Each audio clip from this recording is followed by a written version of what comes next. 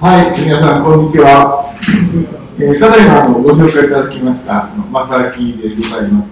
今日はね、あのコロナも少し落ち着いている状況の中で、さて、たくさんの皆さんにお話をさせていただけるというのは、本当にありがたいことだと思っています。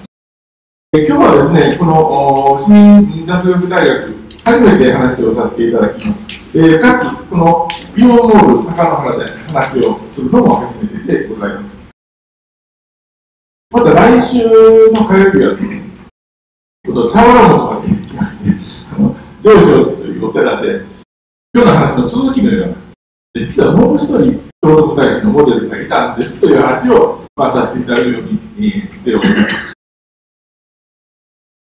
で、早速、まあ、始めさせていただきます。今日のタイトルは、聖徳太子の実像、非譲るところの天使とは誰かということで、えーございます。で、実は去年ですね、聖徳太子1400年、本当は1400年会期というんですけども、聖徳太子さん偉いので、ご恩期、ご恩期というふうに記念されていまして、でこれを契機に聖徳太子のお話というのは、各地で盛んにされましたし、行事も行われました。ただ、あのその中でですね、聖徳太子なんかいなかったという話をされる方もおられますし、いやいや、聖徳太子は日本書紀に書かれている生まれたのにこれ間違いないという方もおられて、まあ、いろいろ点検が学まあ議論になっている。最初に申し上げますと、私の立場、私たちの立場というのは、聖徳太子はおられましたよ。実在されました。ただし、世間一般で言われているような、生まれたの人ではないんですよ。そうではなくて、その時代、ちょうどその時代に、隋の随書というね、あの外国史書に書かれている天野パリシオ公で、この人こそ聖徳太子のモデルなんですと、そこに話をさせていただく。結論をまず、えー話をさせていただいております。あの聖徳太子は、法隆寺の坂如来で、この後ろの後輩類に上宮法皇という人が出てきます。で、この上宮法皇が、あ実はあ聖徳太子であり、さらに、これが生まれのことであるというのが、普通の考え方になっている。それともう一つは、もう一つはこの、これ随所なんですけど、随所に、非譲るところの天使っていうのが出てきますよね。あの、600年と607年に、随に死者を送りました。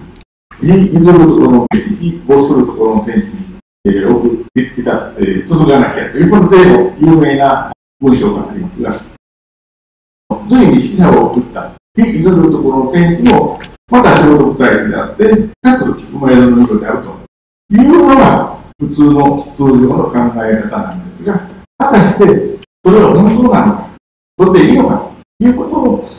順次、まあ、話をさせていただきたいと思います。これはですね、あの、法隆寺の釈迦三尊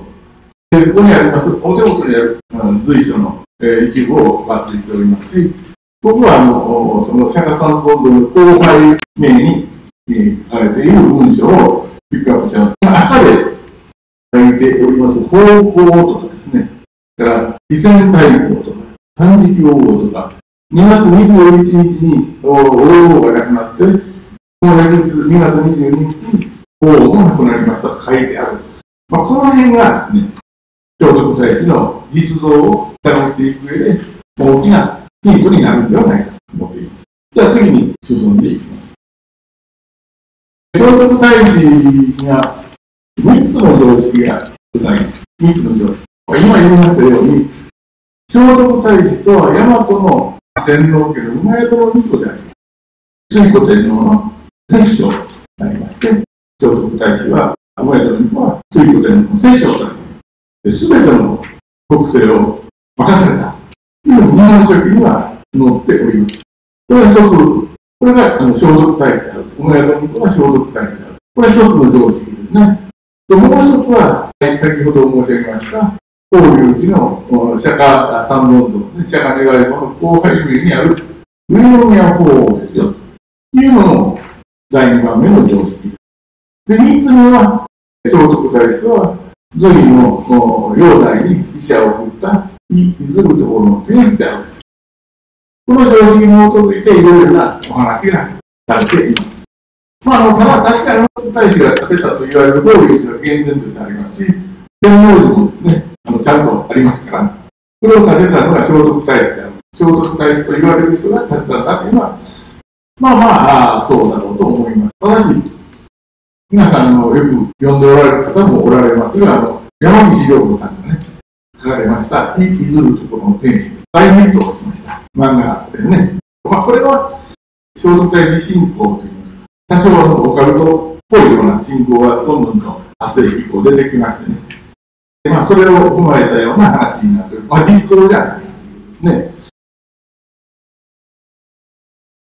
皆さん、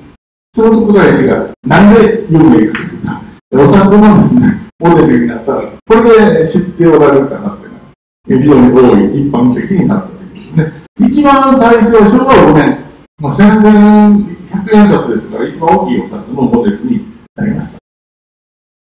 昭和21年、戦後もですね、まあ、あの戦争にですね、関係するような人はどうもモデルにしづらい。その意味で、あの、聖徳太子が和をもって統合するですね、いうね、11条憲法を書いておりますので、まあ、戦後の、まあ、戦領部にしましても、えー、日本の政府にしましても、元の平和主義の象徴みたいな形で、お札に、えー、モデルにするのがふさわしいというので、まあ、千円札、その当時の最高主義の千円札にモデルとして使われております。で、32年インフレが起こってますので、32年はそれが5000円札になりまして、33年から59年までが1万円札。ね。だから聖徳太子っていうと、1万円札の代名詞になったわけです。ただですね、このお札の聖徳太子のモデルとなったものがあります。それが東本宮、これ、法隆寺にずっと伝わっておりまして、宮内庁皇室の方に収められておりますけれども、この東本宮のお姿を、この聖徳太子のお札のモデルに出したというわけでございますが、この左側が四男のエグリーモントで、えー、この右側が長男の山城の応援のというふうに、まあ、されていました。これは法隆寺の13世紀ぐらいの僧侶が、まあ、そういうふうに言ったというので、えー、そうなっていたんですが、昭和57年に、あの東大の今村愛心先生ね、実はこの着状を持ったり、この番組の形とか、装束は、どう考えても、まあ、8世紀以降のお姿ですよ、ということになりまして、これが聖徳太子の姿じゃないと。発表されて、これは昭和57年に発表されて、昭和59年からですね、これお札から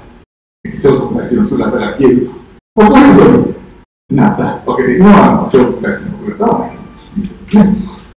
日本書紀で、その、えー、生まれる人っていうのは、陽明天皇と橋人の姫との息子さんで、今言いました、水古天皇の摂政としまして、会員12回を定めたり、憲法、11条憲法を定める。で、天皇中心の、まあ、集権国家体制の確立に努めました。また、あの、廃密派のモノノメのモリアを滅ぼす。そのモノノベ戦争と言われますが、このノベのモリアを滅ぼしまして、そして仏教政策を推進していきました。亡くなったのはですね、日本書紀では621年の2月5日に亡くなりましたと記されています。これ、日本書紀では621年の2月5日に亡くなったというふうに記されています。まだ、あの、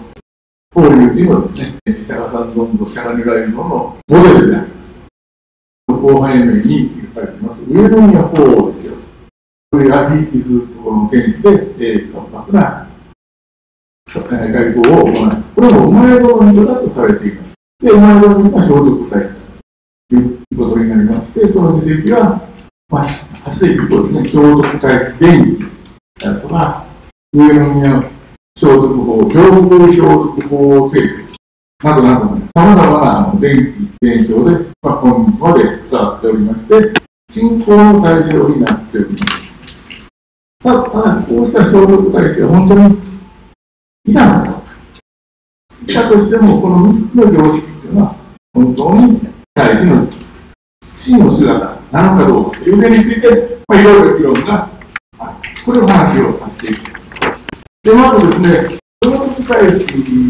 ではなくて、実は生まれの人とか、これと聖徳などと記しています。ですから、聖徳太子という、このもののお名前は日本書紀にあります。一番近いのは、東宮聖徳ということですね。まあ、東宮っていうのは太子なんで、まあ、これは聖徳太子と言ってもいいかもしれませんが、しかし、聖徳太子ということはございます。どういう伝説かと言いますと、お母さんね、あのほの橋人の姫人が、宮の中、ね、空気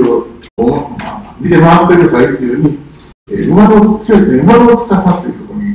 行きまして、で、馬馬の馬馬の塔に当たって、安難しましたというような、これは伝承ですね、また伝承ですけど、書かれています。で、そこから馬の御事は名付けられたというようなことになっています。で、水根が、遠耳と勝利、あるいは、と耳ののりの大きいとか、あるいはですね、のりの牛の大きいとか、まあ、いろいろお名前は様々付けられています。で、この聖徳太子は、あるいは、あの、生まれた子は、あ日本書紀では、超人で、成人で、英雄だスーパーマンのように書かれています。ちょっと挙げてみますと、まあ、政治外交上の偉人ですね。これは、水庫天皇の摂政となって、すべての成功というふうに書かれてますし、外交も、今言いました随に、えー、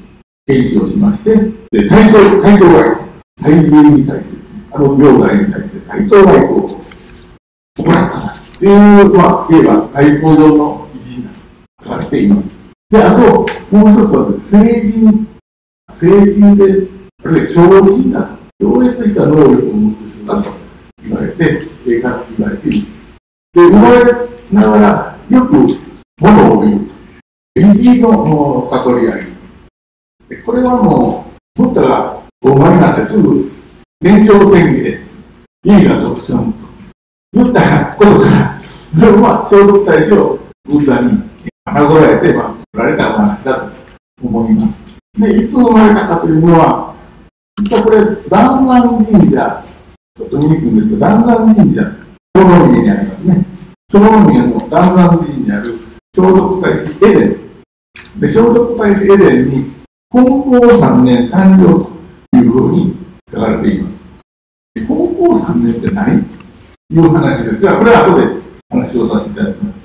西暦に行くと、572年。これが金光さん。金光3年にお生まれになりましたという、これがガンガンにのエデン。あ、他にもね、たくさん、金光3年にお生まれになったという資料があります。この間の子は574年なんで、ちょっと違うんですね。それから、一度に10人訴えをしまして、誤ったよくわきまえるこれ、あの、大使長のキャラクター、大使の10人の訴えを一度にできました。まあ、だから、超人ですね。だから、そこからあの耳が悟りという意味で、耳と勝負とか、それと耳というね、まあ、そういう名前が付けられる。これも、だから、まあまあ、あ後から作られた話ではないかと思います。それから、あの、行く先のことを予知能力があります。書かれています。えー、聖徳太子の伝記を見ますと、太子が予言をしているんですね。たくさん予言をしています。あの都をそのうち国交に移すんだとかね、まあ、いろいろ予言をされています。それから、学問の上では、内教外、つまり仏教の仏典ですね、仏教の勉強、それから外伝というのは、儒教、儒教のいろいろな教典、こういったものを、ことごとく学んで悟る、すべて理解しましたという、まあ、いろいろ大修正に、書かれていますね。でそれが、そういった知識を踏まれて、えー、憲法17条600年に作って、えー、606年にはもう小満教とか保守教を、まあ、講和をするというぐらい、えー、すごい知識がありました、まあ、書かれています。あとは、文字上でも英雄となっておりまして、これは、えー、先ほど申し上げた587年に廃仏派、仏教を廃止しようとした、えー、仏道をですね、何の残りで流したりしてた、あるいは火をつけて燃やしたような、えー、モロロベの森屋を討伐するその戦を地域しました。自然の人間にして勝利しました。だから軍事上でも英雄とされています。政治上の基人で、えー、超越した能力を持ってて、軍事上も英雄だと。まあ、これ皆さん聞いたら、すぐ理解されると思いますが、こうしたあの超人的な内容は、まあ、古代の聖徳太子信仰に基づく、まあ、創作であるというのは、これはまあ皆さん、もう直感的にお分かりだと思います。これはまあ明白なんですが、しかし事実もあります。隋と交流したのは、これは事実です。隋書で書かれています。隋と交流した。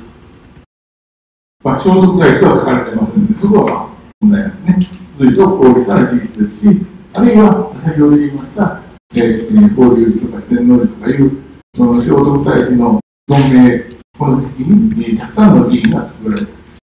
で、仏教が崇拝された。これも、まあ、実は年にからして、そうまあ、確かあってね。ただし問題は、先ほどちょっと言いました。隋との交流しただけど、隋の師匠にはこれは、聖徳太子とか、馬宿の巫とか書かれてないのね。そこが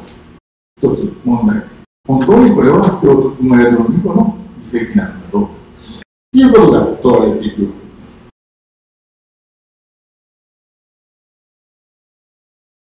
先ほど申し上げました2021年は聖徳太子の、えー、1400年恩期、まあ、1400年会期に当たるとされまして、さまざまな催しが実施されています。で、皆さん、何度か会期っていうのは、お名前になった年も含めてですね、数えます。数えますからね。周期の後は3回期。1421年に基本書記通り亡くなったとすれば、1400回忌は、これ数えてみたら、2020年なんですね。その年も含めて1400年ですで本来は2020年が聖徳太子の、えー、お前と向こうが聖徳太子だとすると、1400年会期になるんですが、そうではなくて、2021年の聖徳太子の1400年を会期にしています。これ、なんででしょうかということなんですが、実は、東部一の社会の内像、後輩像の後輩の名にあります、上宮法の、これも同じ巫女だとされてまして、そのお亡くなりになった法王ですから、あのこれは聖教とかですね、から法とか言わ成人は10日ですね、10日されます。これが622年の2月22日と書かれているから。だから、ここで日本書紀の621年の2月5日に亡くなりましたという記事を信頼していない、取っていない。そうじゃなくて、先ほど見せました、魚が移動の後輩に、金石分、金石分ではいろいろなあのものに刻んだ石とか、それからそういう銅板とかに刻んだものが金石分なんですが、こちらの方を、まあ、信頼して、こう書いてる。ということは、どうも日本書紀に書かれている前田の巫女と、それと金石部に書かれている上宮法号っていうのは、どうも違うんじゃないか。亡くなった日が、星が違う。日も違う。まあ、月だけが2月で一緒なんですけど、でも違うんじゃないかという話になる。ここにですね、まあ、聖徳太子1200年常識と、本当の聖徳太子の断絶っていうのが隠れていると思います。聖徳太子とされる上宮法皇の亡くなりにあった記事は、お前とのことは全く合わないんですね。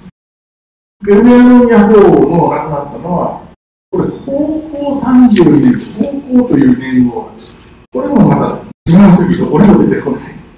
年号なんですけど、高校、高校32年に亡くなりました。これも2月の22日に亡くなります。622年の2月の22日に亡くなったと書かれていますが、先ほど言いました、日本書紀には高校というのもありませんし、前戸の巫女はその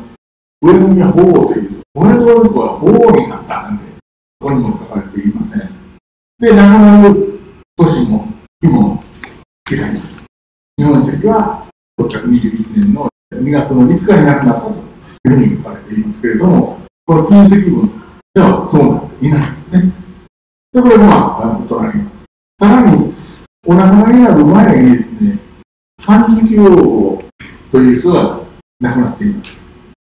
ま、これ、柏でというふうにまあ読みますけど、数節では読んでますけど、まあ、これは解釈なので、これは文字通り漢字記というふうに、まあ、読ませていただいて、漢字記用語という、漢字記用語という奥さんが亡くなってますし、その前の年の方向が31年12月に、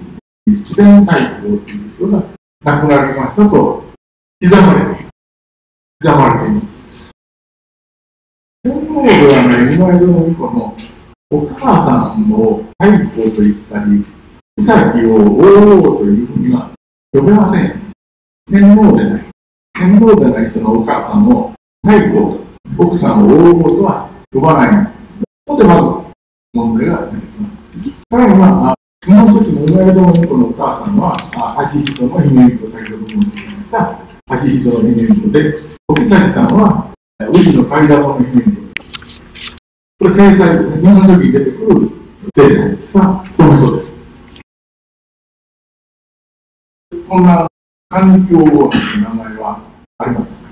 ですから、名文とですね、名前は異なっていますし、その橋人の姫人と、宇治のファイダコの姫人と、ファイダの姫が相次いで亡くなりましたという記事も、日本籍がどこにも出てきません。他に言われているのは、日本書にはないんだけども、まあ、4人ほどお気づがいたんですよ。で4人ほどお気づがいた中で、漢字というのは、かまど版なんですね。あの中国の師匠では、かまど版、見た気をする。見た気をするような、あまあ、今、一番最下層の、まあ、仕事をするような人たちを感じというだけど、まあ、かまど版だから、宇宙でとか、食事に関することを携わるのは、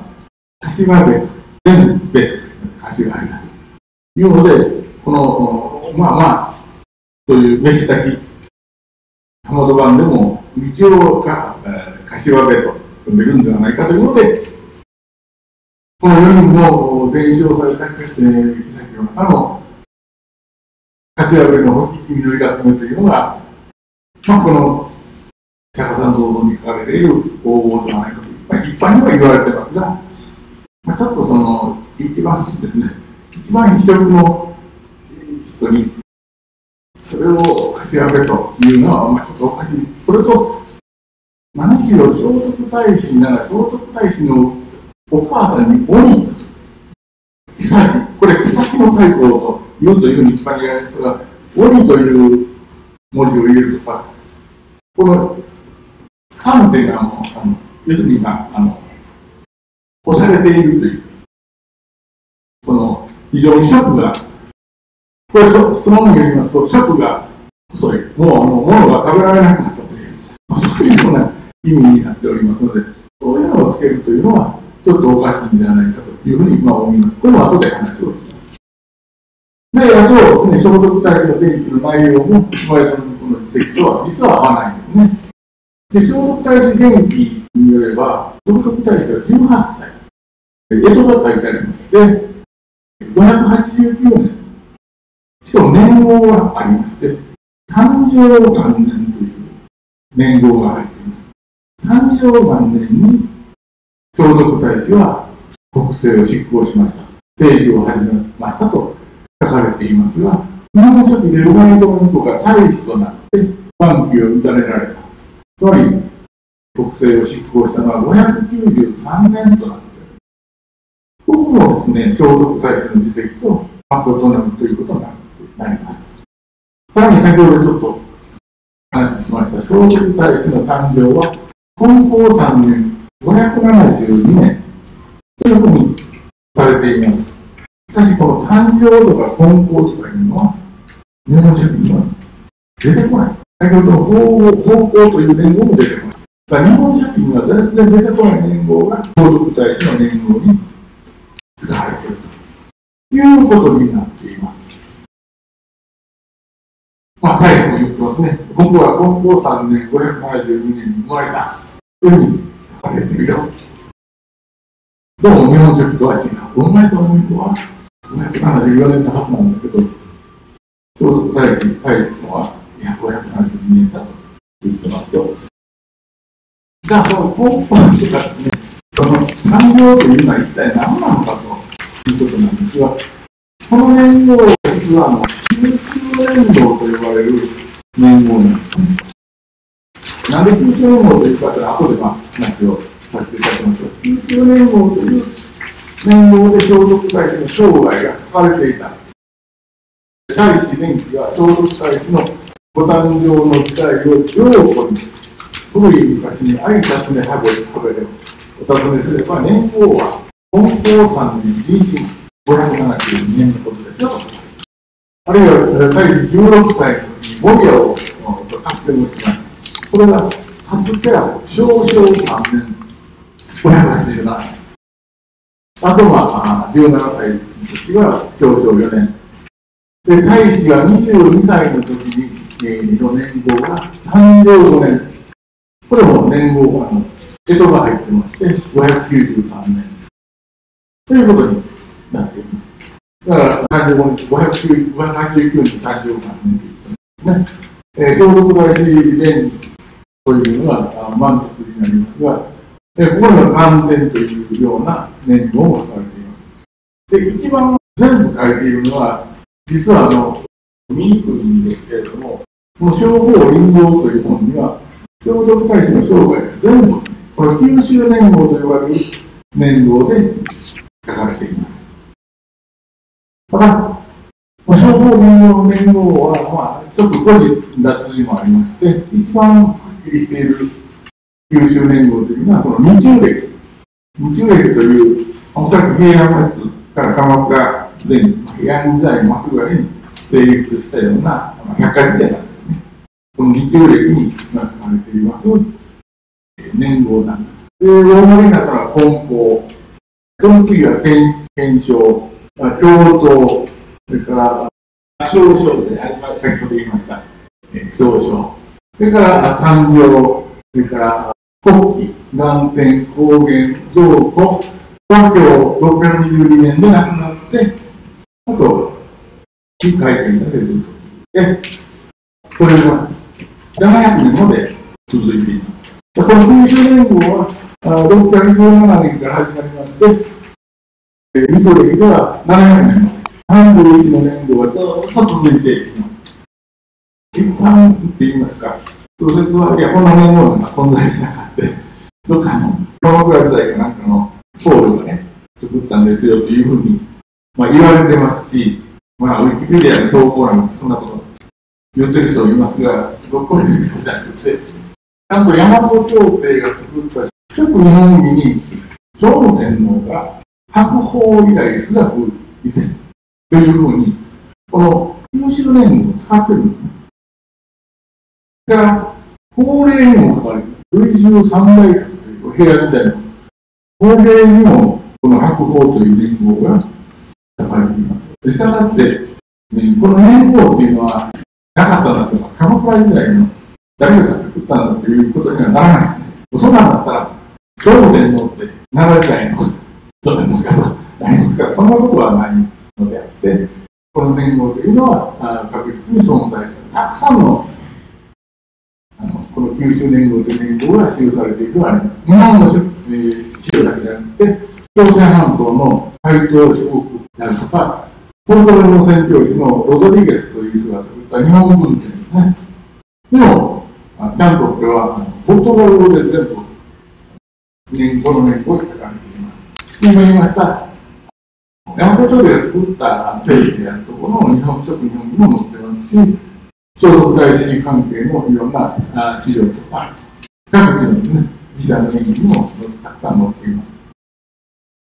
ということは、そそしてですね、この700年の後はないんですが、その翌年に大和朝廷が大砲という年号年号を権限します。あのちょっと日本語を読んでいただくと、大砲、年大砲、権限、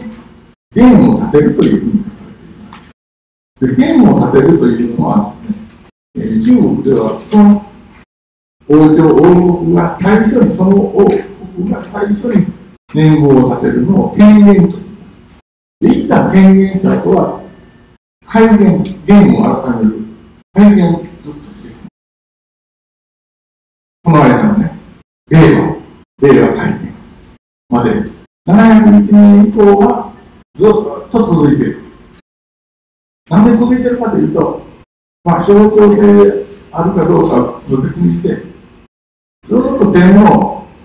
というのは象徴性であっても、我が国のトップにいるという状況が続いていたから、この年号は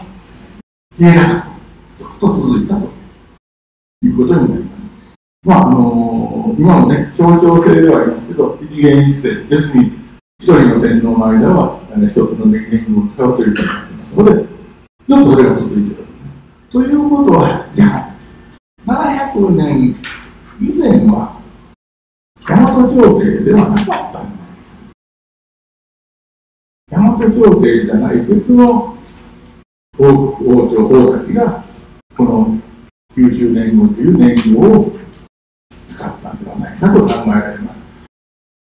聖徳太子は従って大和の天皇家とは別のこの90年号を建てた国の天使だったんじゃないか。年号からそういうことが伺われます。で、日本書紀の大化とか白地とか首長という3つの年号が書かれていますが、大化っていうのは645年から649年、白地が640年から654年、首長が686年、なんと1年しかない。で、各地と首長の間は一切年号がないという変な状況になっています。年号っていうのは一旦作り始めたら、最後までですね、続くのが当然ね、切れました、なくなりましたとか、まだつあのつきましたとか、そんな中、間違えるみたいなことはしない。この年号自身がちょっとおかしいんではないかと思います。したがって、この大化とか福祉とか主張というのは、ずっと伝統にしているこの90年号という年号から抜いてきたものだというふうに考えられます。で、年号を作る権力というのは、その国を代表する権力。だから天皇、天皇はずっと統治している間は、天皇の年号としてずっと続いている。まあ、象徴であっても続いているということですね。したがって大和朝廷の師匠になるような、この年号を立てたというのは、大和朝廷とは別の国と考えられる。聖徳太子はお前の御子でなくて、90年後を建てた国の天使だったのではないかと思います。そんなこと、別の国なんて、あるはずがない。そんなどこにも書いてない。日本書紀には書いてない。そう思われるかもしれません。確かに、日本書紀にはそんなこと書いてないです。ね。日本書紀にはそんなこと一切書いてない。です。が、外国史にはちゃんと書いてあるんですね。東大の口調を見ますと、聖徳太子の時代、我が国に和国というのと日本国という2つの国がありましたと書いてあるんですね。和国と日本国、2つの国があります。で、和国って何ですかというと、和国というのは、古の水戸国である。水戸国というのは紀元57年に、五冠の皇帝から金印をもらいました。あの国がいる。で、その金っていうのは、九州の鹿の島から出てきたんですね。それをもらったのは井戸国。その井戸国をずっと継いできたのが、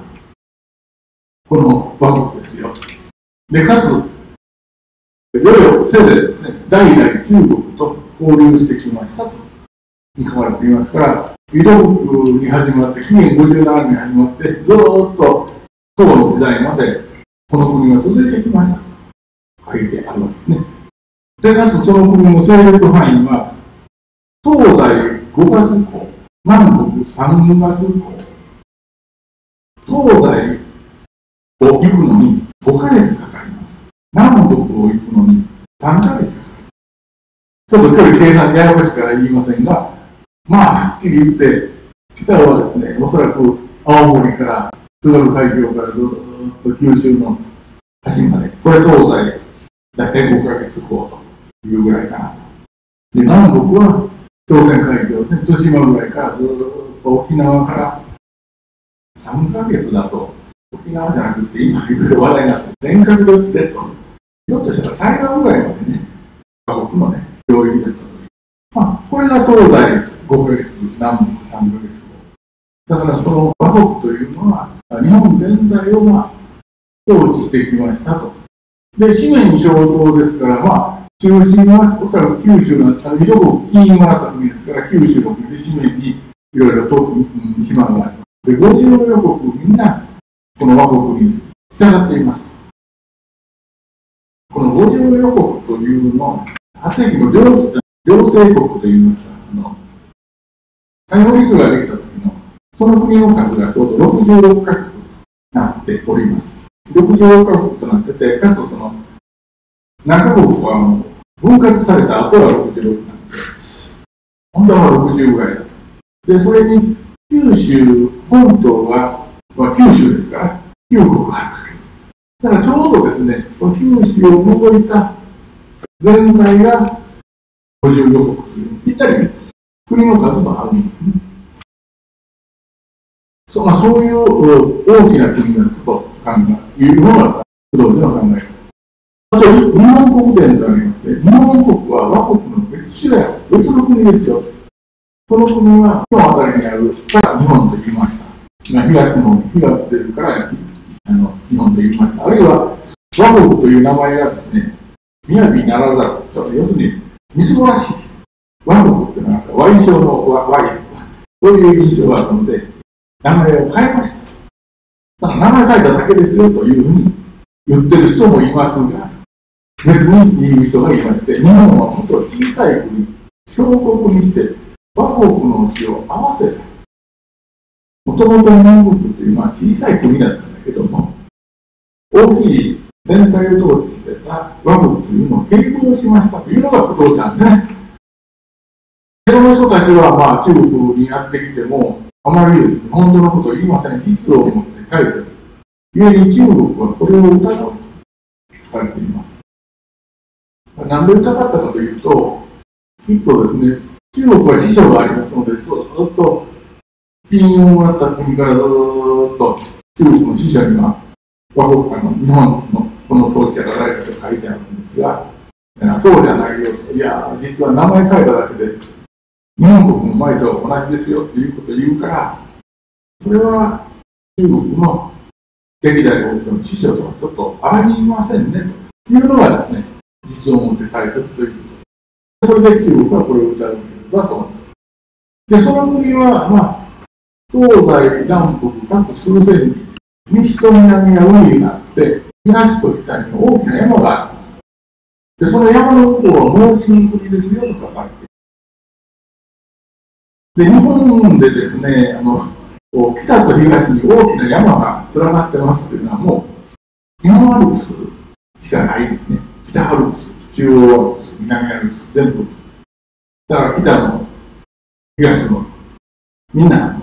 山に囲まれてて、その向こうに、羽付けの国とか下付けの国とかありますね。毛の国。毛の国がある。だからちょうどですね、日本アルプスの境に、この東、西側が日本国ですよ。その大きさは、東西南北各数千里。これ、あの、律令制の1里530メートルだとするとですね、数千里だと、東方都の小学ぐらいに行ってしまうんで、これ、あの、律令の1里で数千里と言ってると考えたら、ね、中国、自分の子孫も全部、日本国の領域になってしまいますから、そんなことはあり三国志、石和神殿、見ます。石和神殿のちょっと前に、関殿という、韓国、韓国。この漢の地は、方四千里と、方四千里、一辺が四千里です。だから、ちょうど数千里は、この韓国の東西一辺の長さぐらいだと考えれば、ちょうど大和朝廷がこっちに来ないと、来ないというふうに言った、これはですね、大和山城説川シーズン、今、この辺和歌山とかですね、この辺まで含めて、これが日本国だった。大和朝廷だったの元の国だったということが、この記事からはですね、こういう小さい国だったのは、もともとででかかった和国を吸収し吸収しましたよ。併合しましたよというのが当時の考え方なんですね。で、日本国というのはもうはっきりしてまして、703年に側天部中国三大学の一つ側天部無側天のところに死者を派遣します。その死者の名前がアータのマインドだと。アータのマインドってのは疑いもなく、大和朝廷の官僚ですから、日本国というのは大和朝廷を指している。大和朝廷はもともとはこういう近畿の国だだけのを統治した国なんだけども、それが8世紀、703年、その側天向こうに上皇した頃には、この大きな和国を併合してナンバーワンになりました。と書いてあります。で、ナンバーワンになったので、側天向こうはアートの人に関与を授けました。自然系という関与を授けて、その地位を求めたということに。まあ、ちょっと長い話になりましたが、聖徳時代の、聖徳太子の時代の我が国の当事者というのは、今言いました、不当のことに考えれば、九州を本土とする和国である。で、九州連合を建てたのも、この和国だ。併合される前の王朝が九州連合を建てた。したがって、生涯が九州連合を記される聖徳太子は、和国の人物だったのではないか。というものに、まあ、推測をされるわけです。このことはですね、何も私たちが一つでも分りにくいことはありません。もともとに僕がしてあるのは、その国千その人間資源を人は書いた、えー、そその国2000個ということですね。これ一言で言いますと、大和朝廷以前に1000年続いた九州の国がありましたというのが、この園国2000個どういうふうに書かれているかというと、えー、昔ですね、中国、大陸から渡ってきた人が九州にやってきました。その子孫は非常に強大だった。で、禁止を急いで、まあ、要するに天天使を装って、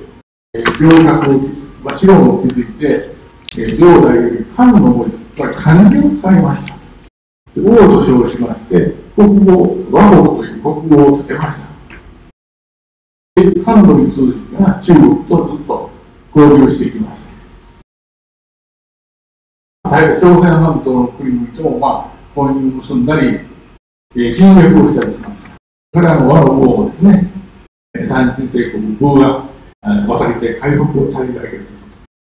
これは、のことですよ。で、駅を作り、都市を示す。これが九州年ね、九州年号を作りました。まあ、寺を建てとか、ああいう、まあ、小たちのお話の続きんですが、すべて、モロコシの偽りの国、モロコシの、まあ、あの、朝廷を真似をした。まあ、偽物の国ですよというふうに、まあ、言って。その国というのは何なのかというと、日本書紀には熊曽とか、隼人とか、いう国ですよ。だから、間違いなく九州のでその九州の国は、いろいろ征伐をしようとしたけども、1014年を経てなお滅ぶ。この九州の国は1000年ほど続きました。で、その国はですね、元正帝の養老4年、720年の生成、これはあの、隼人討伐戦があります。大友の民と大将軍になって、隼人を滅ぼした。この生成に至ってついに滅びたという。したがって、次の話の国力先行の考え方は、登場ともあって正しい。それはですね、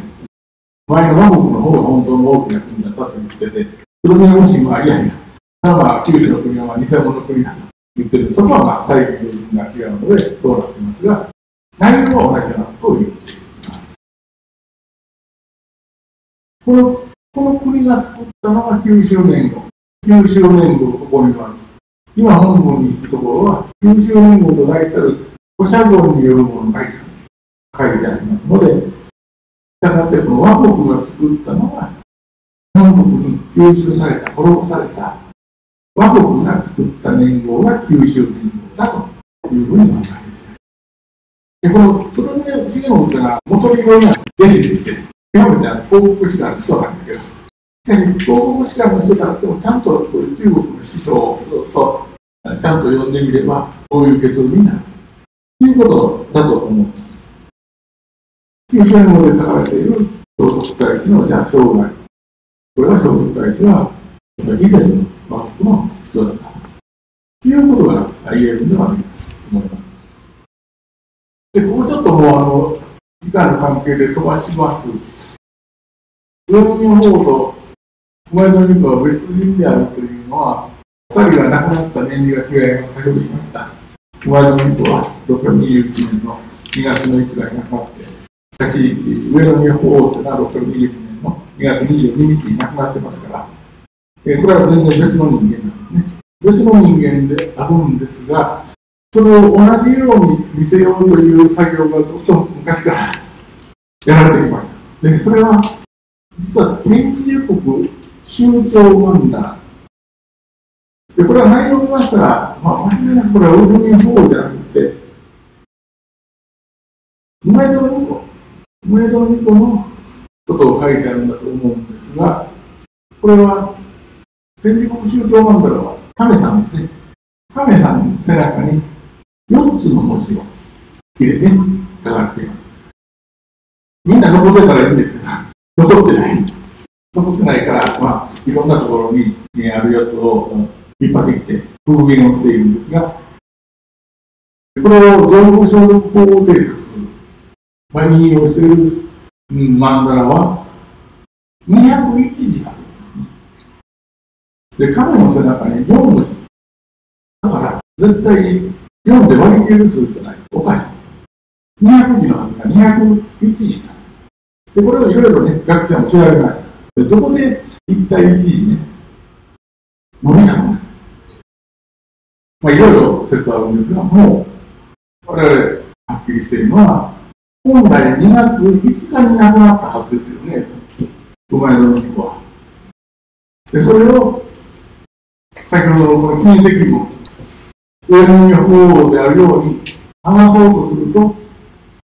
22日にしたい。2月5日を22日にしたために一時上がってしまう。ということになると。したがって、この今回の全国宗教で書かれているのは、お前とのでしょう。しかしそれは上宮法とは違いますよというのが、この一時余分な上空衝動法というの編編纂といいますか、の、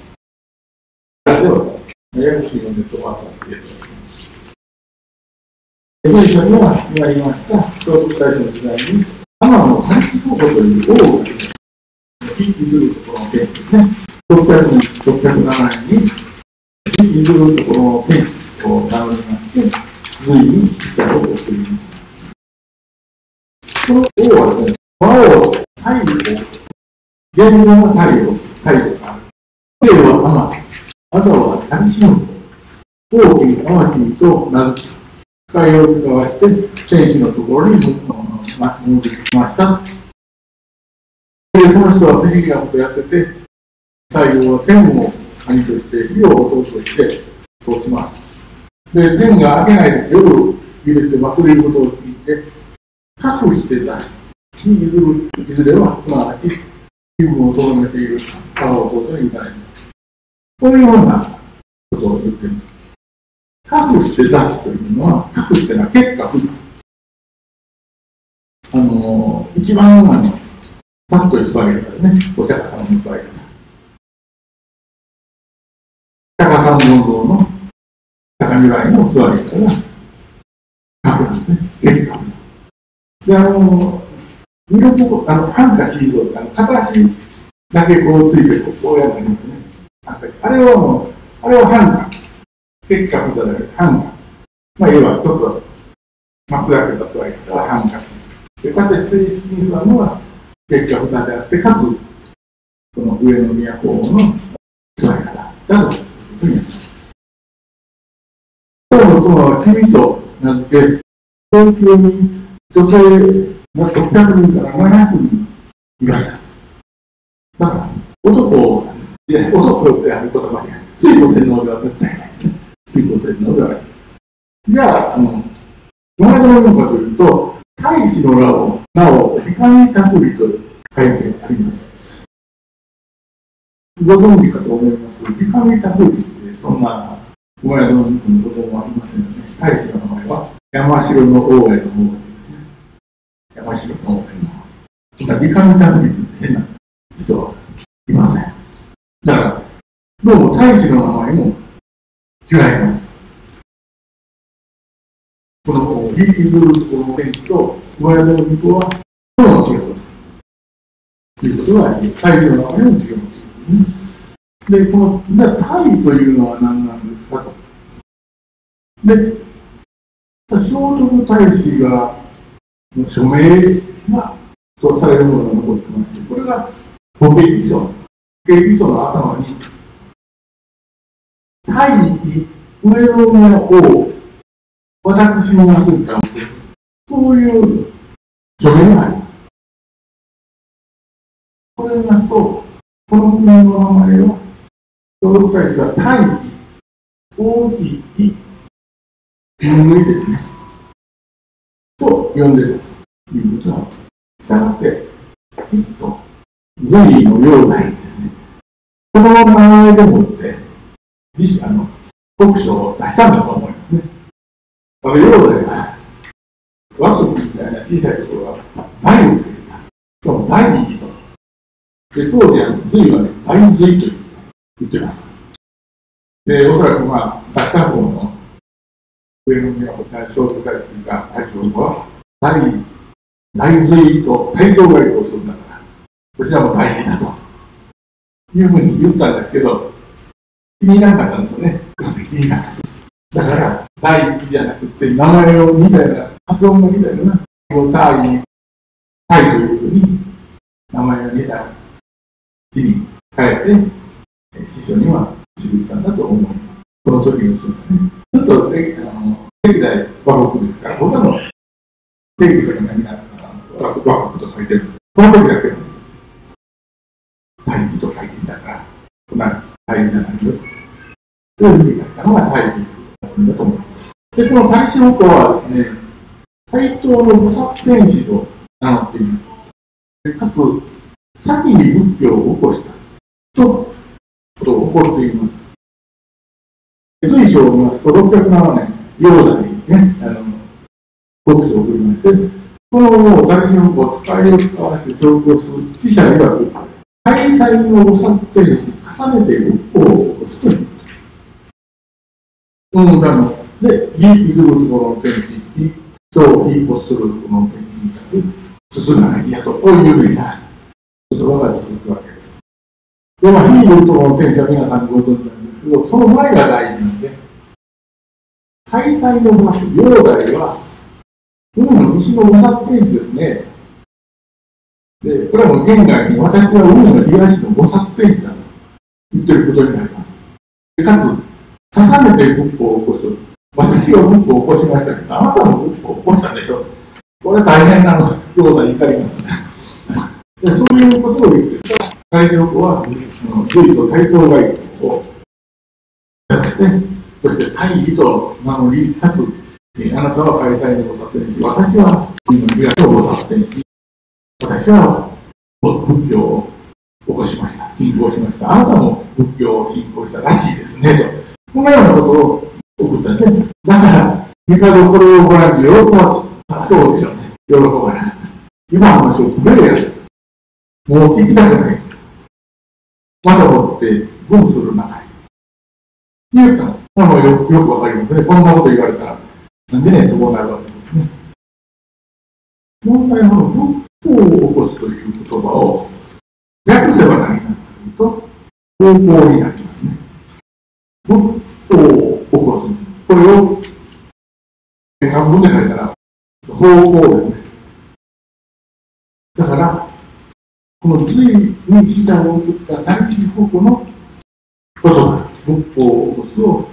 縮めたのは、上の宮法が使っている方向という年号だとになるわけと思います。これはまさに上方向というのは、上の宮法が天の大地方である。生まれの宮法ではなくて、天の大地方であるということを示していると思います。これ、方向が、方向というのはちゃんと後背面に記されています。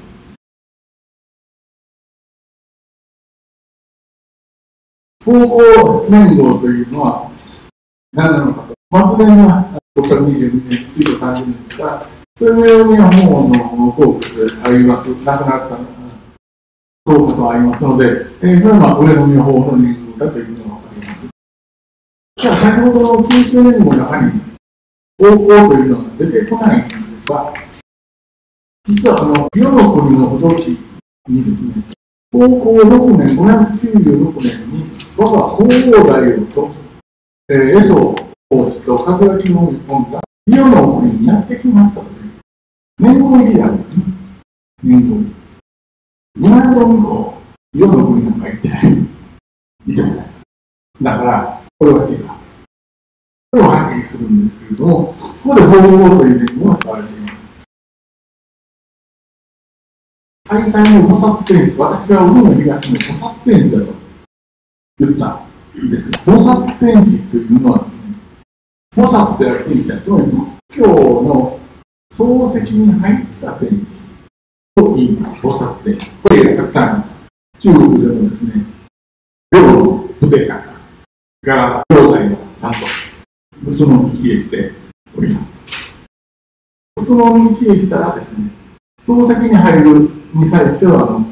受会をします。お授かり。会を授かります。会を授かったら、その時に名前をいます。これが本当の戒名なんですね。今あの、お葬式、葬式仏教になっちゃったから、戒名っていうのはなくなった時に、なんか、あの授けられる本当はそうじゃない。仏門に入って、その仏教を信じて守り通したという、その誓いを表すために、戒名をもらう。まあ、宗派によっていろいろ違います。あの、ど真宗だったら法号というんですね。法号とか、法、えー、法名とか、あるいは戒名とか言うんですけど、まあ、戒名というとどうも印象がなくなった時の戒名の印象があるので、私は法号というんですが、この法号があったのがですね、実は、この法号ということなんではないかと思います。ちょっと読む、まあ、あの、飛ばしますが、両の部隊が、ちょうどですね、3回も出家しまして、菩薩皇帝というふうに呼ばれました。で、本当にあの、出家してるんですね。あのお寺に入っていって、ね、修行、あの、寺が寺のあの掃除人みたいな格好で行くわけですね。両のあの官僚たちがそんなことされたら、国が回らないので、それを引っ張り戻すお寺に漱石から外してもらうために怠慢なお金を3回払って呼び戻したとかいう話もあります。まあ、そういうで隋の初代条件文典も同じように介護を授かっています。大きなお寺をさせています。両代も、えー、同じようにお授かりを授かって、掃除という方法を得たというふうに、まあ、書かれています。こういうことから方法というのは、漱石、僧としての漱石を得たときに授かる方法であったんではないか。だ、九州年号っていうのは朝廷の年号なんですけど、それと別に方法としてね、法皇になってから何年という、そういう年号で使われた、え使われたんではないかと思います。こちらりもですね、皇后とか信仰、皇后とか皇后とか統合を得て、そして、古代についてます。これ一言で後に関係すると言いますが、この信仰王というのはね、皇后王の時代のね、このこと書いてあるこれ、このことじゃないですか。本当は多いですから、このことは誤りですね。時代の天使は、仏教を起こすという皇后王の徳を次実利を重ねて、向こうに作りますというふうに三国の徳をつき、実利を重ね、勝利、徳をつき、実利を重ねる。略すと聖徳。だから聖徳というのは、仏教を起こした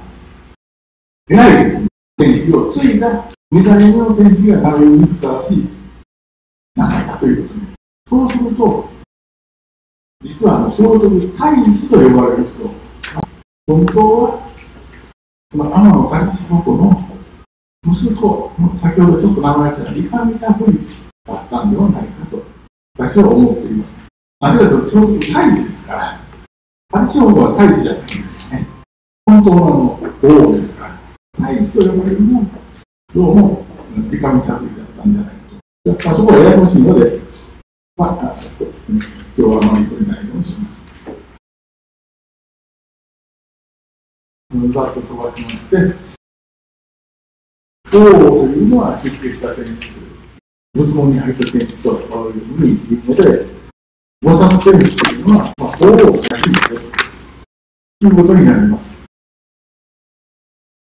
先の行の腕や菩薩公平と呼ばれてますから、これも菩薩天使をイメージした菩薩天使の元になったことがあったんではないか。これは法王と同じ意味だということです。で、十一条憲法の問題も、もうややこしいので、まあ、今日は話しません、ここに、服部さんが来られてますので、まあ、その辺が詳しいんですが、有使用憲法を見ますと、矛盾してるんですね。何矛盾してるかというと、2条では、厚く三法を敬い。三法とは仏法そうなんです。仏教上の権威を敬うてください。ところが三条は、君をは天とし、信号は地とし、12条、君に憎むき国に憎んだ、民に領主なし、ポットの長に王を持ってある人なし。だから、3条とか12条は、政治上の権威が天使を敬うってですね。これ明らかに矛盾する。仏教の権威と天使の権威が衝突したらどちらを勝てるのか。これ、もうヨーロッパでもね、王を、ローマ皇帝とね、もうしょっちゅう対決してました。我が国でも、本別、賢者と、それと、織田信長、宗教上の権威と政治上の権威が対立して、戦争を起こしましたね。そういうことになる。矛盾をはるのは、この十七条憲法なんです。ただし、この矛盾を解消する方法は一つある。これは、天使がですね、仏教上の権威である。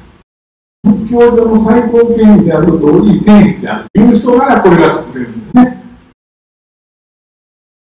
自ら、だから菩薩天使、菩薩であり、天使であるという、その、まさに仮しの子。まあ、この十七条憲法はもちろんなく作れる。そうじゃない。単なる天使だと仏教とですね、対立してしまうし、仏教を大事にすると天使とか政治と対立する。対立しないでこの言葉、この十七条憲法が作れるのは、菩薩天使という、菩薩であり天使であるということを名乗った天の大使力しかないと。したがって、やはり十一条憲法を作ったのも、この大将が作ったんだと考えないと矛盾が出てくる。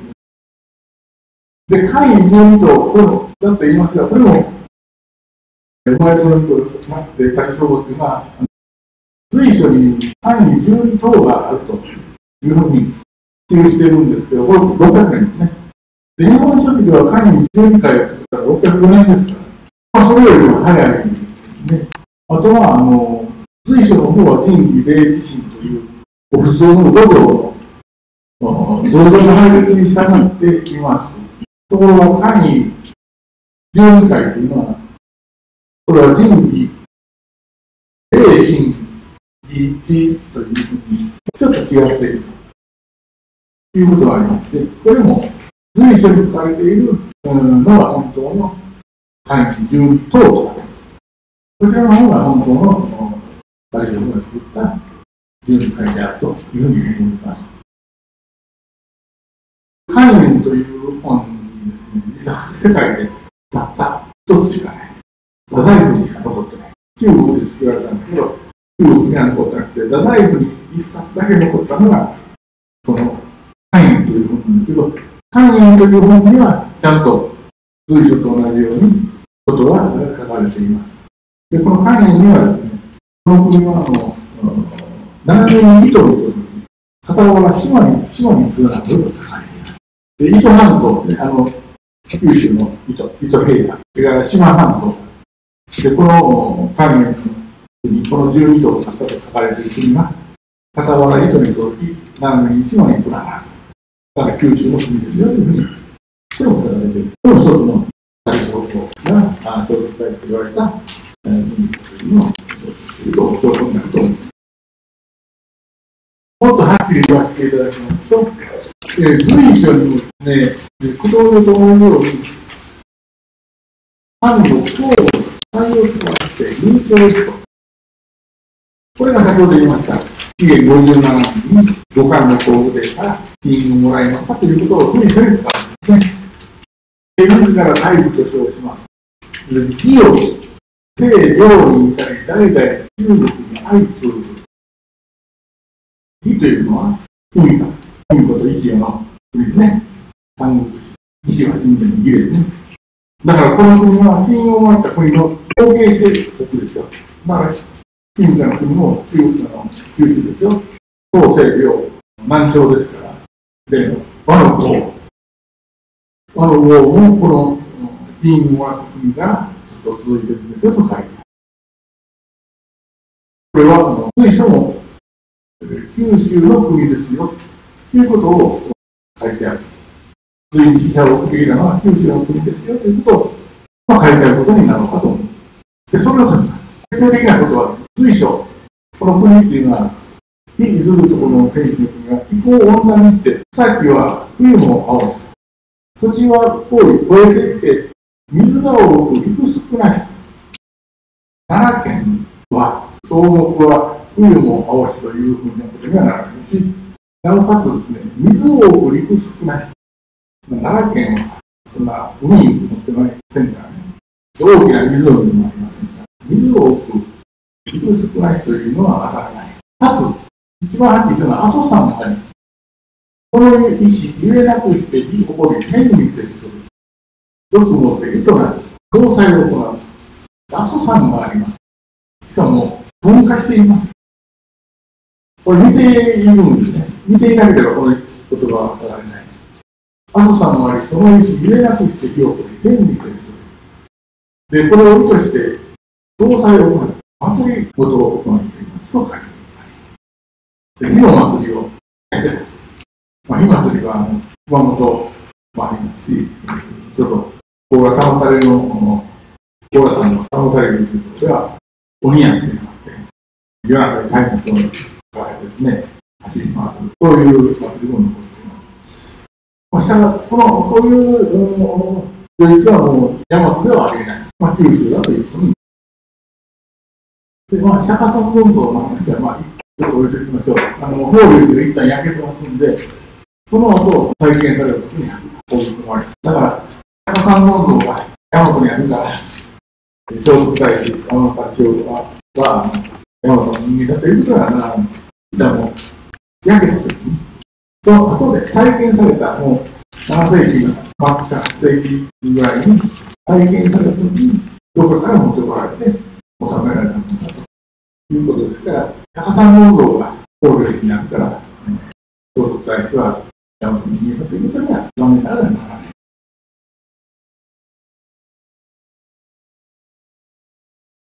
じゃあなんでですね、こんなあの、聖徳太子、あの大学が、九州じゃなくて、近畿の人間、で、かつ、神戸に作ったり、四天王寺をこちらに作ったのかということを、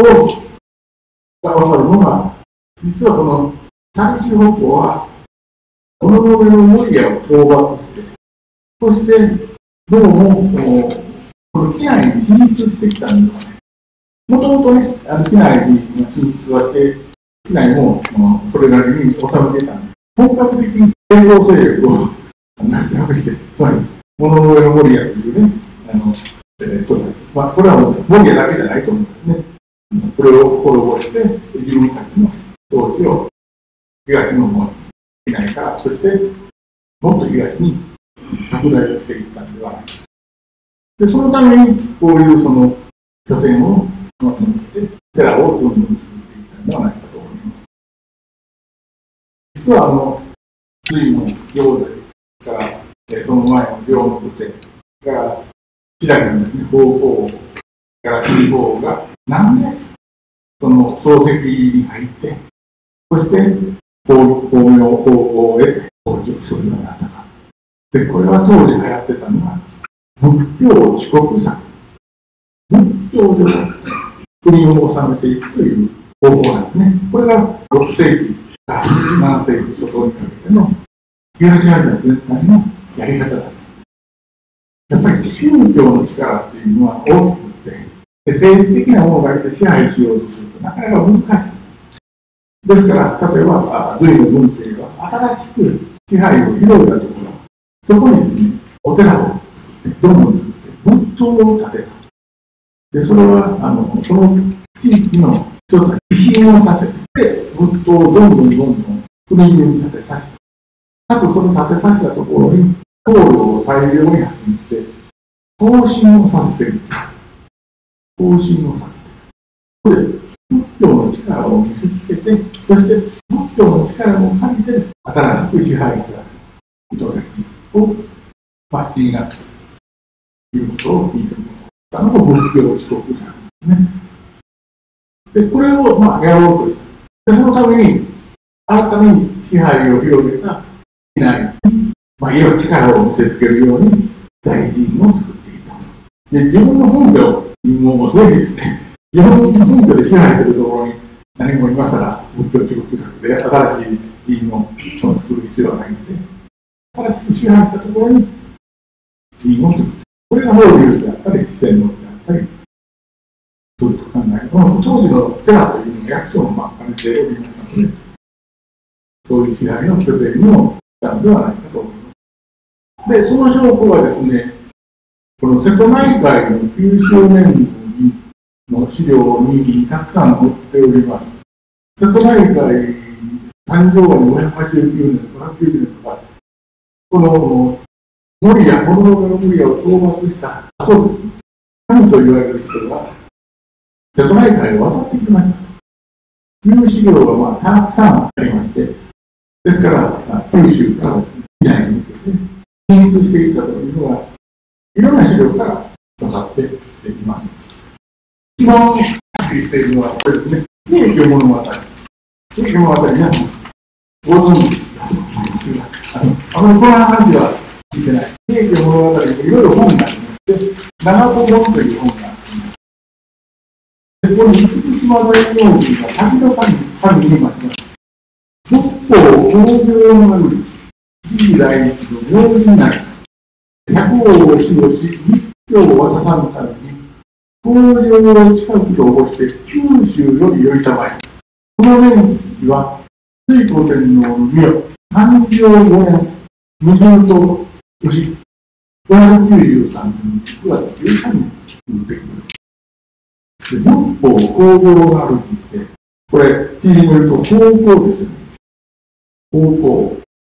だから方向、対象が、まあ、あるいは上の宮の方が年金だった方向。だから仏教工業なんですから、方向、方、上の宮の方。やって、しかもそれは九州よりよった。でその目的は百王を守護し、これはまあ、あの統治ですね。あの、先ほど言いました。えー、日本全体を統治していくこと。それと密教を渡さんために、でこれも宗教、仏教をちゃんと広めよう。この二つの目的で九州から厳島にやってきました。それが90年の誕生後593年というふうに書かれています。でこのことは最近東方でもですね、だんだん分かってきました。何が宮ができる前に、上町大地ってどうだったのかという研究が進んできました。肝心の一番宮な方ですね。寺院が作られるべきところが、なんせあの石山本願寺ができて、それから秀吉の大阪城ができて、それから東富川の大阪城ができて、もう全部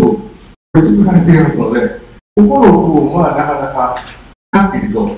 これらしきものが見つかるわけにことにはなってないんですが、その周りの発掘が進んでくると、どうもここに寺院がいうことが、いろんな大阪のですね、文化財協会、まあ、歴博の人たちの調査で分かっています。まあ、佐藤さんなんか、文化、これ、大阪市の文化財協会の方なんですけども、まあ、5世紀の方年高の総合期や、7世紀の何々の時期でも、大阪城の下に、権力の中枢となる施設が置かれていた可能性が高いというふうにまあ言っておられますので、こういう上もですね、650年の何々ができるな、だから大正の時代にも、何かかこの何々に大きな人になったんじゃないかというのは、合法的にも言われ始めているという。で、それであの東の方にやってきたので、いろいろな人が次々とこのように建設したということです。まとめになります。協力体制の枠の建設も天の仮しの方だった。聖徳大切される上の右の方とお前らではありません。この奥さんの名前とお母さんの名前違いますし、えー、連日なくなったということもありません。宮戸とは法皇なくなっていません。大和天皇に法皇法皇という年号がなくて、逆に随所に文法を起こすとある大職の人号に伝わるものです。聖徳太子の電気と生まれの肉もありません。聖徳太子電気で大子が出生したのは589年。初期で生まれるが摂政となったのは593年。で、大子の誕生は本邦3年、あるいはその生涯が90年後というね、日本書紀には見えない年号で記されていますが、当時の大和天皇家に年号はありません。聖徳太子の史跡は随所では唯一のこの形の列石というふうに今考えられると思います。まず随所で聖徳太子の時代の若くの天使、最高権威者を天の神そこで、熊谷の人でも水庫でもありません。で、譲るところの天使を受賞して、水庫を交流した、それが会議流動を設定したのを前をから見て、えー、同じがあって、天の神そこで、通常憲法は3条と2条3条矛盾します。が、これは無殺天使に対す。ることであれば、両方、仏教も天使の権威も両方とも大事です。よというのが言えるわけです。ね。あとは、大義というのが大使の保険書に受賞しています。が、それは随所の国民の大義と統一す。るということになります。大処方の国は、アホさんの国として水が多くて、温暖な九州まあ、そういったかつ、この対処には随所に、藩の公務から金融を可視された、広く九州の広く、それから、家より西洋に対して、君か一葉から和の方に至って、代々中国に愛通する我が国の大学されたというふうに考えます。だから実際の聖徳太子のモデルであるのは、随所に見える天の光情報。物の上の上で討伐を何も進出し、そこで仏教を遅刻作により、お全国を統治します。この奇跡が初期に取り入れられて、大和の生まれるこの実績のように記された。なるほどね。これがの、法律の、まあ、技術上というふうになろうと思います。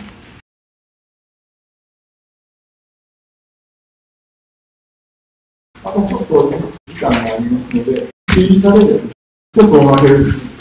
相続体制は何でなくなったのか。最初は何でなくなったのかという一言ですけど、年々と、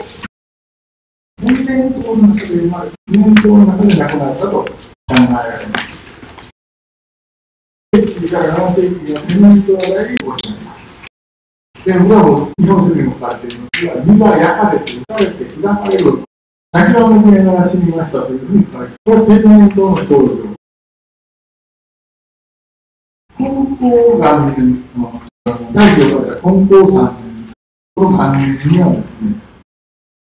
天下皆熱病というふうな記事が全国全員に載っています。全国全に。でかつ、福岡の、うん、元々顧問から、開催公演正月6日、公演の日時、10人の刀を作りましたという名がある刀が発掘されました。でこれは570年に当たります。だから天下熱病の年にこの刀が作られた。公演の年も、正月は虎の月で、6日はあこれも虎の日であって、虎の国に作られた。4つ虎が重なるのは、地輪剣と呼ばれています。韓国ドラマにとって地輪剣と呼ばれてまして、まあ、国難を払うような剣がされます。だから、この時期にそういう伝統が大払いになりますね。そしてそれを解散するためのいろんな料理が行われる。で、仙台港環境を得る法は連続してなくなってます。この連続してなくなっていうのは、施設が天然痘に帰還して、苦しみの中で亡くなるようになったいうのがあります。そこでね、この可能それから犠牲というところが、地獄の苦しみを表す形で出てくる。えー、まあ、本上年度表の中で、地獄に落ち、えー、熱や感じ獄、熱や感じ獄、熱や感じ獄、熱の夜夜間がその身を食らう。常に焼かれること、常に食われることです。これは天然痘の靴と一緒で、この中に感じということが出てきます。それから、非然というのも出てきます。地獄に落ちた名前で、そのガキの全身は、あの罪としてですね、巧妙を焼いて、茨が生じて、えー、非常に苦痛が大変な苦痛ですよ。このここからですね、太陽と黄金の非然とか感じというのが取られたというふうに、これは天然痘でなくなったからそうでも、すぐね、オブジをすればいいじゃない。か。そんな地獄に落とす必要がないんじゃないか思われるでしょうが、実は、聖徳太子の時代のご結局にはですね、4人は王女できない。だからね、熊ラジオ役の、もうこれは、これ、研究された、熊ラジオ役のご結局にはですね、4人王女ができるフォームに書いてあの、令和だったと思ないんです。で、法劇者にも実はないんです。だから、すぐには往生できない。で、一旦、やっぱり非常に往生できないので、地獄に落ちると、地獄に落ちた後はですね、社会の中では、それぞれの人間を救うというふうに書かれていますから、お救いになる。で、こういうストーリーで、この名前がある。それだから、釈迦三本文の脇地は、薬王菩薩と薬上菩薩になった。天人道でなくなった。で、それを、で、語りられなった、上田の薬を、これ救われたから、それが自分たちの薬王菩薩、薬上菩薩で、その、領土から救う。そのお姿が釈迦さんの道になりました。というように、だろうと思います。聖徳太子と母と妻は天然痘に亡くなりました。しかし、今において苦労も出し、えー、釈迦三本の形をとって、病気に病気に苦しむ地上の救済に努められているのだと考えます。はっきり思うありがとうございます。これでは今日のお話を終えさせていただきます。とうございます。何か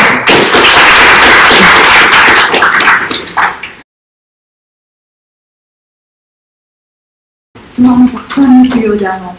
のお話を聞きながらこう読み込むまで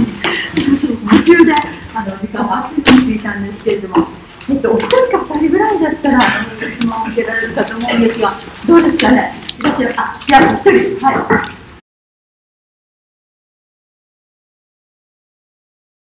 今まで学校で習ってきたことと全然違いますので、理解についていくのがすごくしんどくて、よくわからなかったんですけれども、ように、その時に日本書紀を作るように、ドリルしようかなと思ってたんですね。で、この当時、中で作ったのは、えっ、と、モノクロの本屋が、と、えっ、と、そのあの、科学たちと検討しますね。あの頃から、あの、もっと前、の時だったら、実はですね、今日は時間もないんで話しませんが、日本書紀ができたのが724年。で、先ほど言いました、和国が滅びたのが720年。720年。ということは、大和朝廷は720年に九州の和国を滅ぼして、そして日本書紀を作った。ですから、それまでもいろいろあったと思うんですが、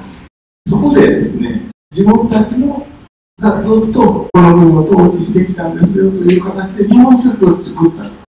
ただ日本書紀にはいろいろ書かれてますけれども、それは中国の史書とは一切合わないんですね。合わない。で、いつ頃から日本書紀の元になるような記事を大和朝廷が持ってたのかというと、それはちょっとわからないんです。で、大和朝廷も当然自分のところの大和のね、歴史をちゃんと持ってたとは思うんですが、それは中国の師匠とは違うので、720年に大和朝廷はあの日本書紀を作るときにそういう中国の師匠を利用して、でうまくですね、あの成功するように作ったと。したがって、も物のけの無理やと、それはうまくこの戦い、そこに聖徳太子がやってきましたというのも、どちらかというと、聖徳太子信仰一環みたいな形でですね、ほとんど話が盛られてるんじゃないかというふうに思います。何らかの大和朝廷としての、大和天皇家としての師匠を作るべきだという話があったかもしれませんけど、それが海外史料からはちょっと推測できない。我々はちょっとそこはわからないですね、言いようが。はい。日本書紀に書かれている天皇の名前が中国史書には出てこないんですね。逆に中国の史書に書かれている和国の代表者の名前が一切日本書紀には載っていない。で、ここからね、いろいろなことが推測できる。やっぱり、工藤で言ってるね、和国と日本国とは、大和朝廷とその前の国とは違う。中国の人に書いてあるのは、その前の国のことだと考えれば、何の矛盾もないなと。私はそう思っています。はい、ありがとうございました。そしたらもう一度あの先生にお礼の拍手であの今回終わらせていただきます。